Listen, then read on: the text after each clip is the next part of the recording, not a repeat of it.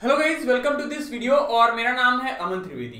इस वीडियो में हम डिस्कस करने वाले हैं फ्रेजल वर्ब्स आप सभी लोग जानते हैं, इसका एक लेक्चर मैं ऑलरेडी कवर कर चुका हूँ, जिसमें 20 फ्रेजल वर्ब्स हमने डिस्कस की थी एसपी बख्शी बुक से। तो ये एसपी बख्शी समरी सीरीज़ है, जिसमें हम इन फ्रेजल वर्ब्स को कवर करेंगे। एंड आज से मैं कोशिश करूँगा कि आपको ये रेगुलर एटलीस्ट एक वीडियो मिलता रहे।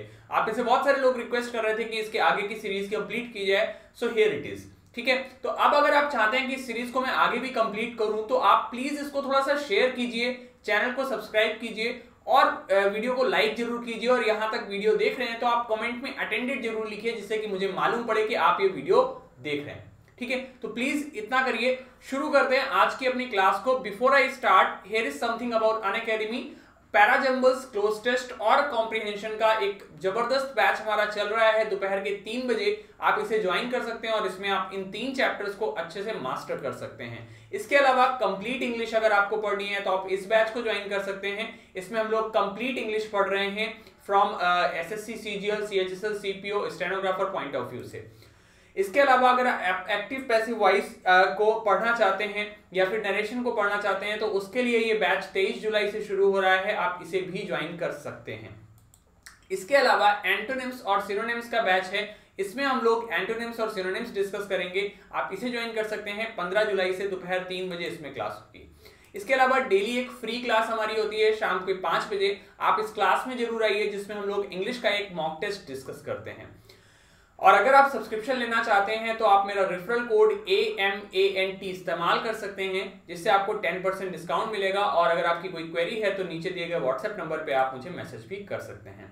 इनके अलावा अन अकेडमी पर और भी कई सारे बैचेस हैं, जो कि जुलाई मंथ में शुरू हो रहे हैं, जैसे कि ऑल स्टार्स बैच है सीईटी ब्रह्मास्त्र बैच है संकल्प बैच है सफलता बैच है, और भी बहुत सारे बैचेस अन अकेडमी पर लाइंड अप हैं। तो इनमें भी आप एनरोल कर सकते हैं और आप रेफरल कोड यूज़ कर सकते हैं A M A N T for ten percent discount अभी एसएससी पे ऑफ़र चल रहा है। अगर आप एक साल का सब्सक्रिप्शन लेंगे तो आपको आधे साल का सब्सक्रिप्शन फ्री मिलेगा और दो साल का लेंगे तो एक साल का सब्सक्रिप्शन फ्री मिलता है, जिसको आप अवेल कर सकते हैं। अगर आप रेफरल कोड यूज़ करते हैं ए एम एन टी तो उससे आपको टेन परसेंट डिस्काउंट मिलेगा और इन प्राइसेस पे आप इन्हें अवेल कर सकेंगे।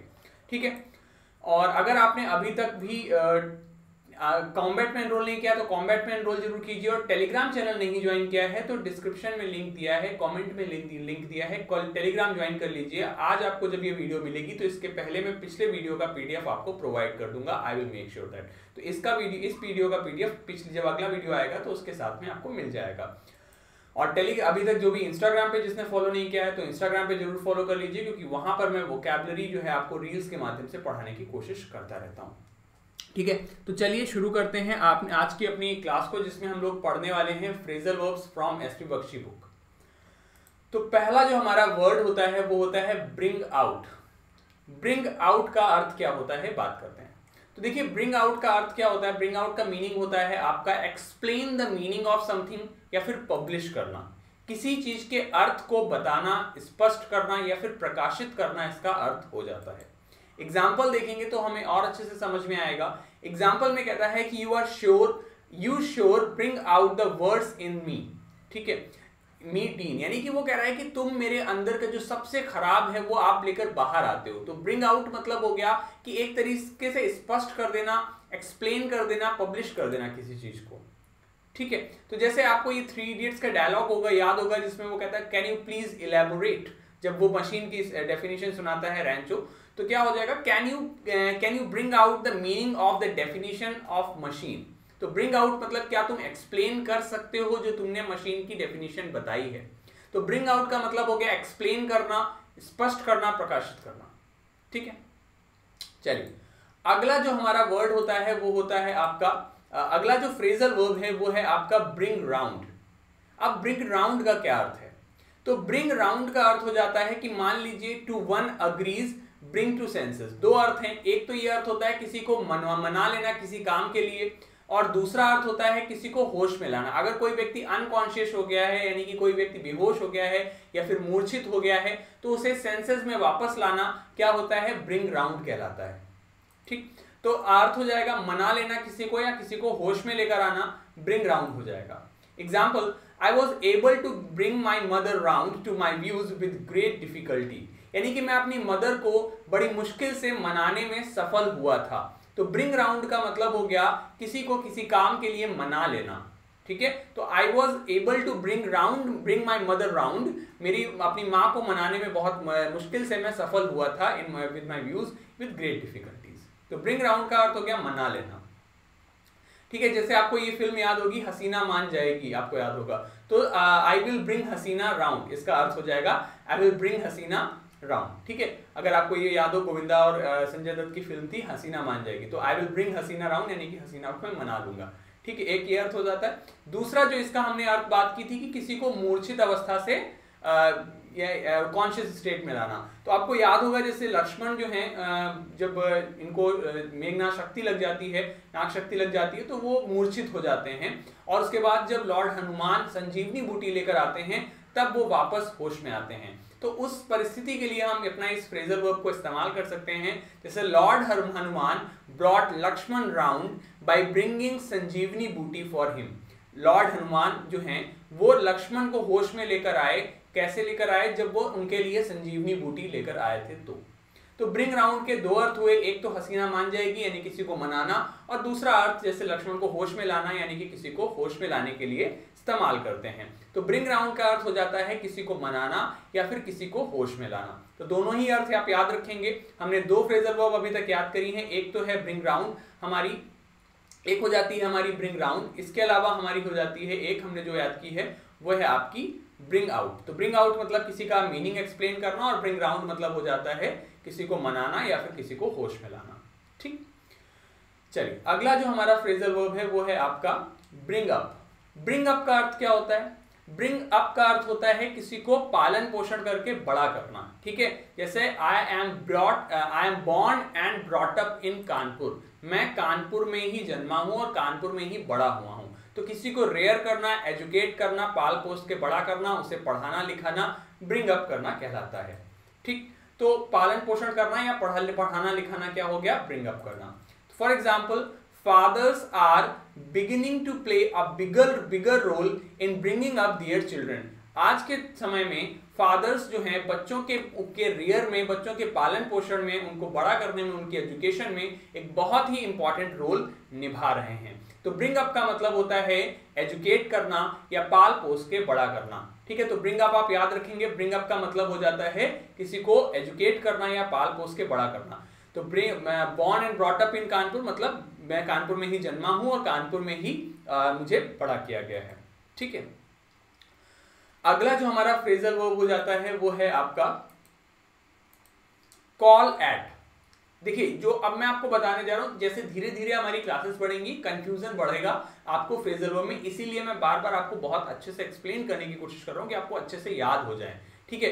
बाकी टीचर्स भी मैं देख रहा हूँ, आप, आपको यहाँ पे यूट्यूब पे फ्रेजल वर्ब्स वगैरह पढ़ाने लगे हैं, लेकिन आपको मकसद मेरा सिर्फ़ वीडियो का ये है कि अगर आप मेरा वीडियो देखकर जा रहे हैं तो आपको पूरी फ्रेजल वर्ब यहीं पर वीडियो के एंड में याद होनी चाहिए। उसके बाद अगर कोई भी पलट के आपसे पूछ ले तो आपको सारी याद होनी चाहिए।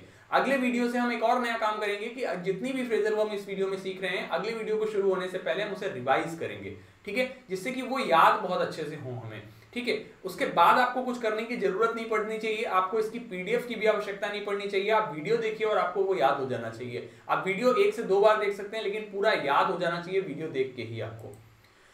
कॉल एट का मतलब हो जाता है visit a place to meet, किसी जगह पर जाना किसी व्यक्ति से मिलने के लिए। क्या कहलाता है? कॉल एट ध्यान रखिए।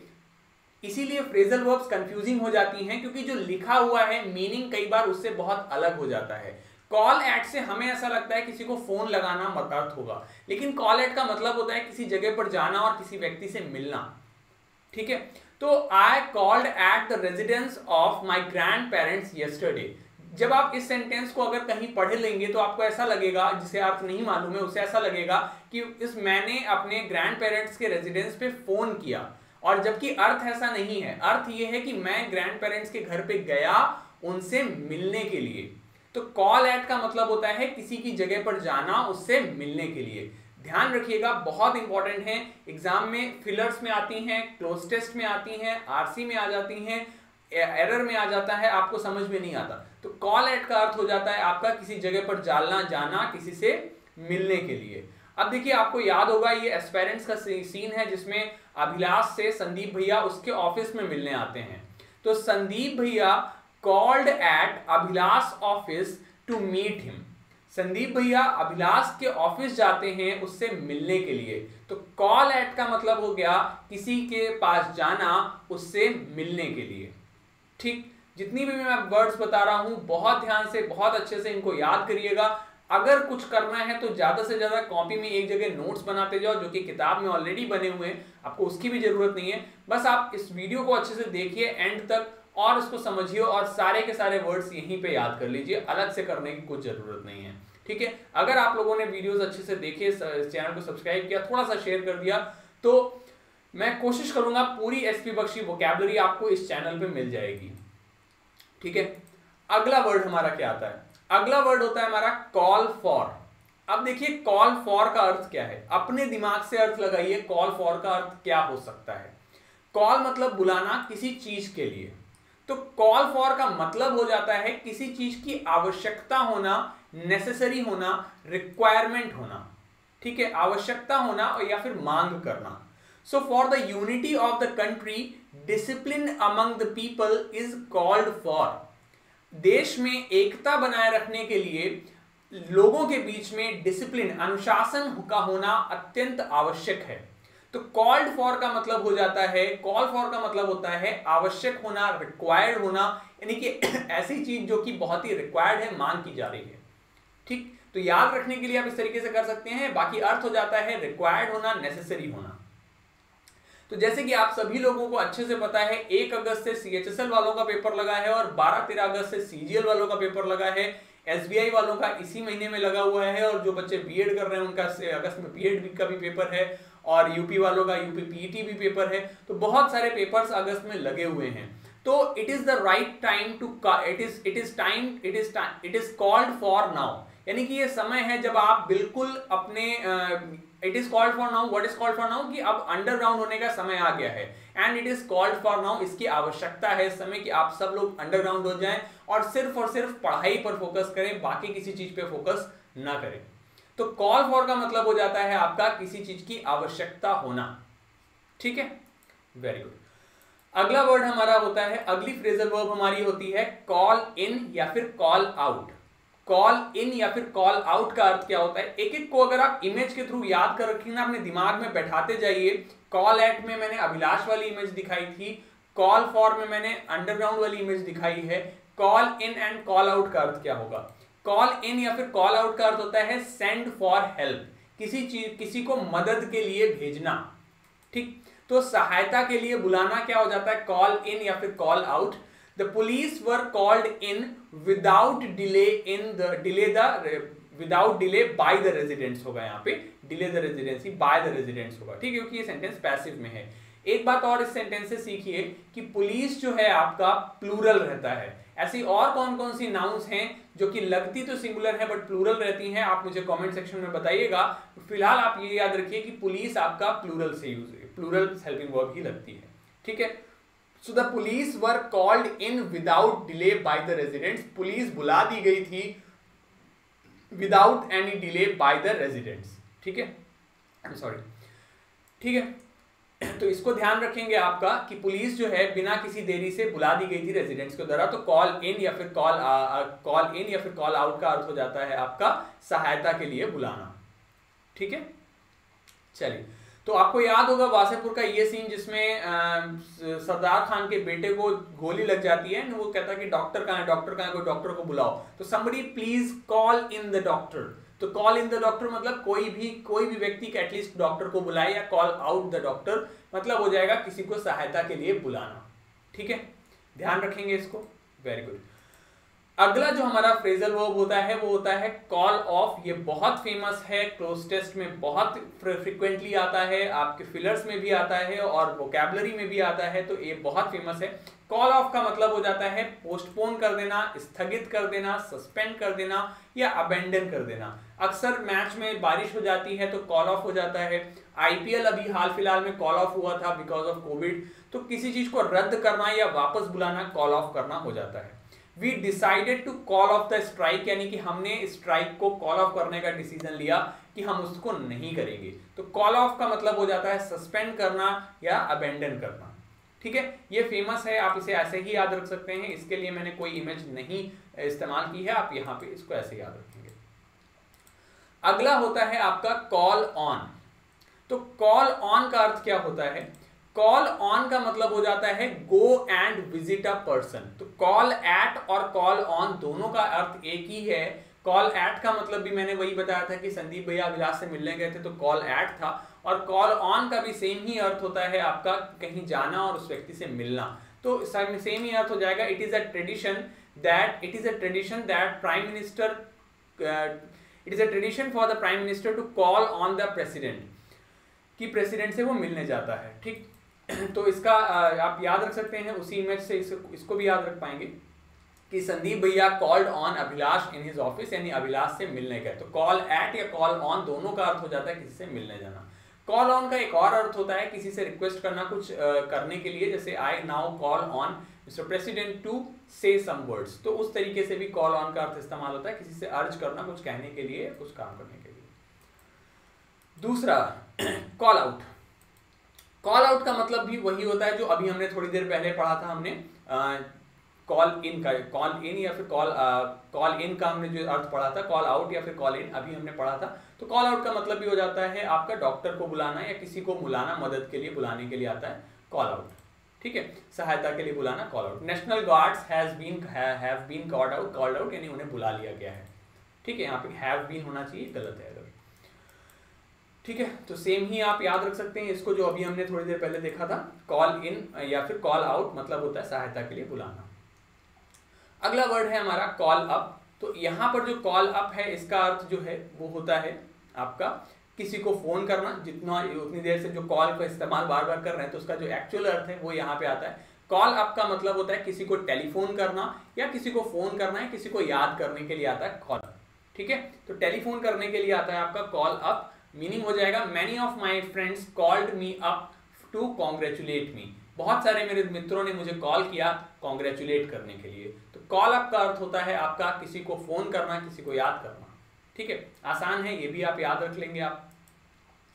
अगला जो हमारा वर्ड है, वो है आपका कॉल अपॉन तो कॉल अपॉन का अर्थ क्या होता है? कॉल अपॉन का अर्थ जो मैंने कॉल ऑन का दूसरा मीनिंग बताया था, वो होता है, यानी कि किसी से अपील करना, या एग्जॉर्ट करना, या रिक्वेस्ट करना कुछ काम को करने के लिए, उसका मीनिंग हो जाता है call upon he was called upon to prove the correctness of the press report यानी कि उससे कहा गया कि प्रेस रिपोर्ट की सत्यता को साबित करे वो। तो कॉल ऑन या फिर कॉल अपॉन का मतलब होता है रिक्वेस्ट करना अपील करना किसी से। ठीक? तो आपको याद होगा, इसमें एक सीन है वासेपुर का, जिसमें वो रामाधीर सिंह से एक्चुअली में वो थ्रेट करता है, वो वहाँ पे धमकी देता है बट मैंने इसको थोड़ा सा बदल दिया तो Sardar Khan called upon Ramadhir Singh to send the girl back in three hours उसने कहा कि तीन घंटे में अगर लड़की वापस नहीं आई तो फिर वो उनको नचा देंगे। तो सरदार खान कॉल्ड अपॉन होगा, क्योंकि यहाँ पर अर्थ हो गया कि अपील किया, उन्होंने रिक्वेस्ट किया एग्जॉर्ट किया कि भाई आप तीन घंटे के अंदर लड़की वापस कर दो। ठीक है? तो याद रखिएगा कॉल अपॉन का मतलब होता है अपील करना एग्जॉर्ट करना रिक्वेस्ट करना। ठीक है? ऑलराइट अगला जो वर्ड है हमारा, वो है कैरी अवे बाय तो कैरीड अवे बाय जिसे कहते हैं ना कि don't get carried away by इससे आप कैरीड अवे मत हो जाना। तो कैरीड अवे बाय का मतलब हो जाता है आपका कि किसी भी चीज़ से आप कैरीड अवे हो सकते हैं। मतलब अपने आप से आपा खो देना, आपका आपके ऊपर ही कंट्रोल नहीं बचे, उसे कहते हैं कैरी अवे हो जाना। ठीक है? तो मीनिंग हो जाएगा, नियंत्रण होने के लिए आता है carry away on hearing the news of his success he was carried away by joy उसने अपनी सफलता की खबर सुन के उसके ऊपर से उसका कंट्रोल खो गया, यानी कि उसने अपने ऊपर से नियंत्रण खो दिया. तो कैरीड अवे बाय हो जाना मतलब होता है अपने ऊपर से नियंत्रण खो देना.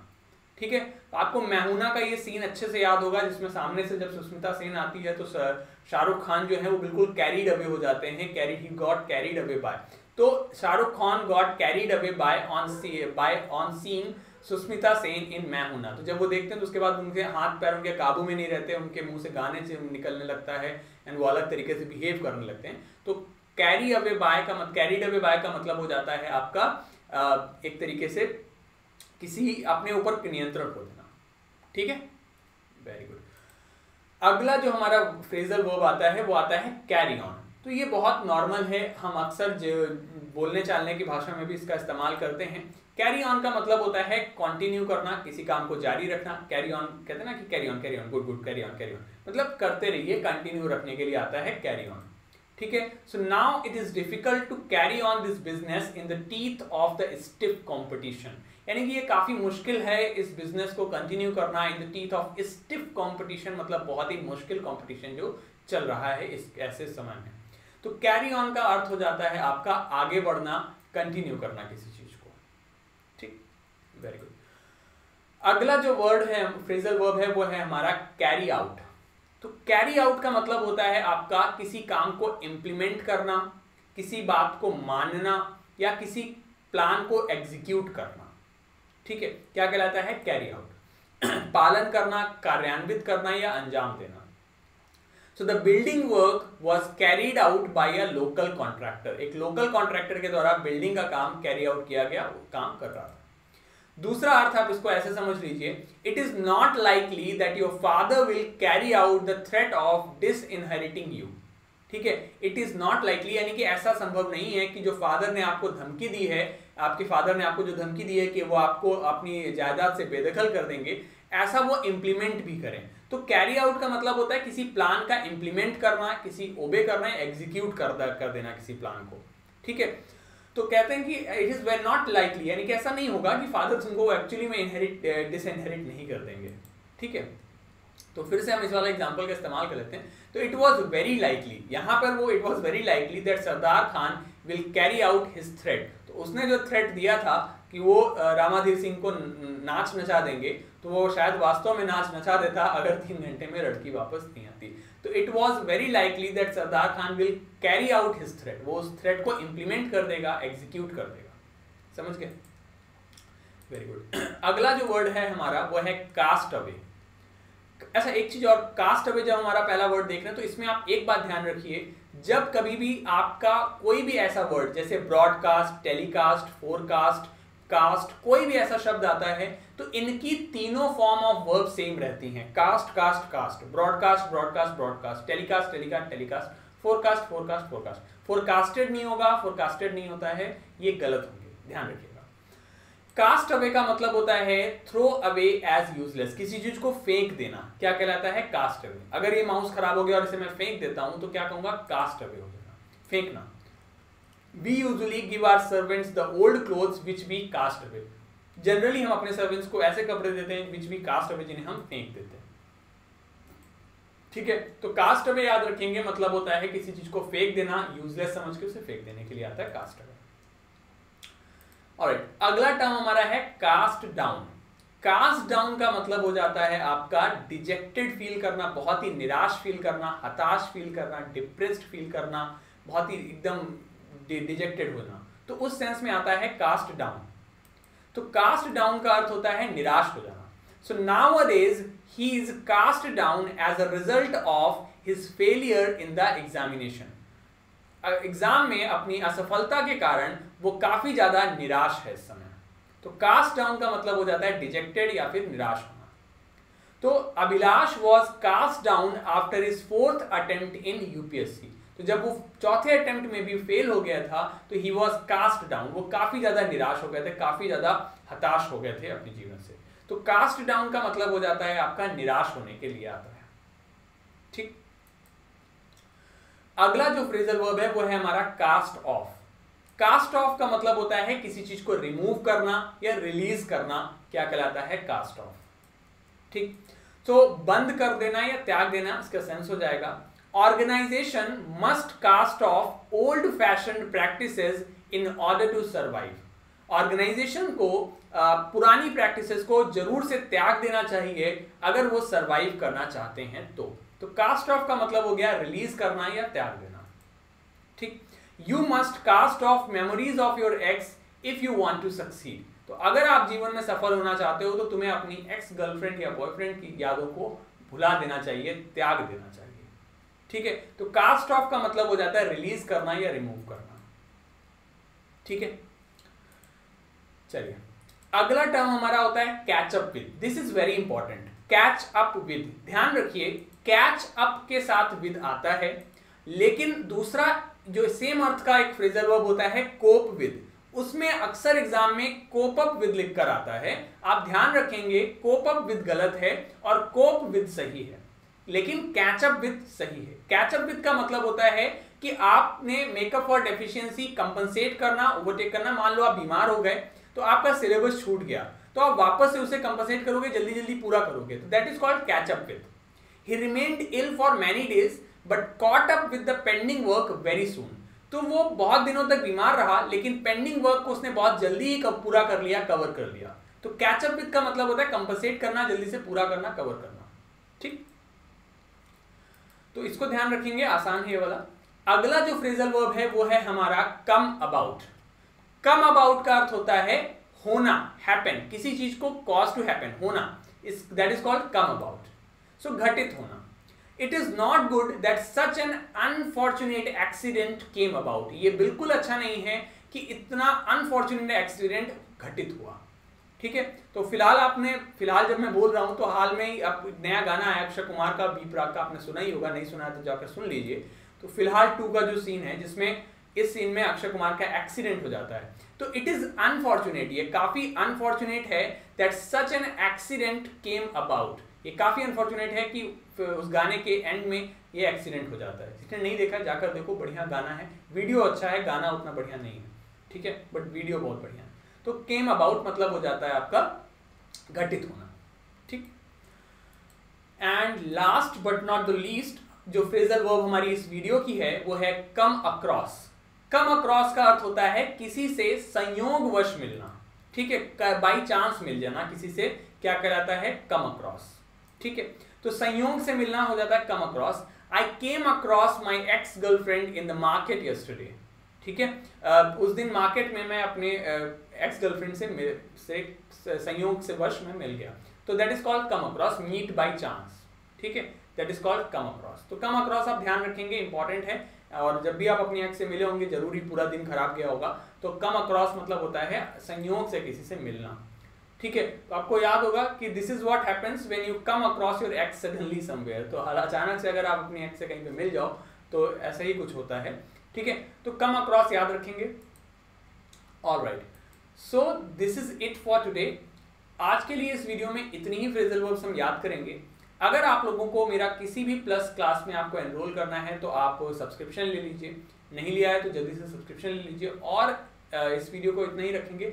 वीडियो को लाइक ज़रूर कीजिए। अगर यहाँ तक दोस्तों देखा है तो बहुत बहुत धन्यवाद आपका वीडियो को देखने के लिए। और चैनल को सब्सक्राइब नहीं किया तो सब्सक्राइब कर लो बेल आइकन भी दबा लो वीडियो को लाइक कर दो, जिससे कि मैं आगे भी इन वीडियोस को और लेकर आता रहूँ। बहुत बहुत धन्यवाद आपका दोस्तों वीडियो देखने के लिए। आपका दिन शुभ हो। Bye take care and have a great day thank you so much